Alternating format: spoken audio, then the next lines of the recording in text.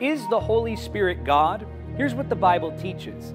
The scripture refers to the Holy Spirit as the Spirit of God. After being baptized, Jesus came up immediately from the water, and behold, the heavens were open, and he saw the Spirit of God descending as a dove and lighting on him. The Holy Spirit is omnipresent. I can never escape from your spirit.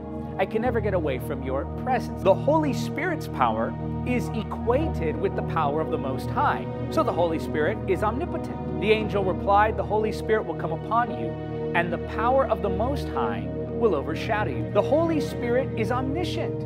No one can know a person's thoughts except that person's own spirit, and no one can know God's thoughts except God's own spirit. The Holy Spirit is omnipresent, omnipotent, and omniscient. Therefore, the Holy Spirit is God.